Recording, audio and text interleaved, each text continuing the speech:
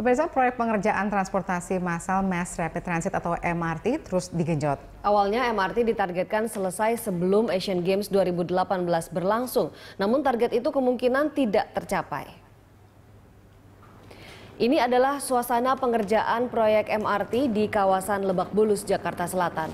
Gubernur DKI Jakarta Basuki Cahayapurnama mengatakan MRT kemungkinan tidak akan bisa digunakan saat Asian Games berlangsung. Hal ini disebabkan pengeboran terhambat jalur pipa PAM dan Pertamina.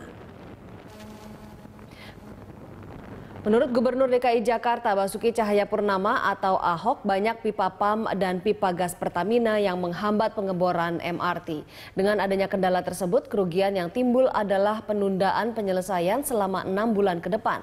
Artinya MRT tidak siap dipakai saat Asian Games dan baru akan beroperasi Januari atau Februari tahun 2019.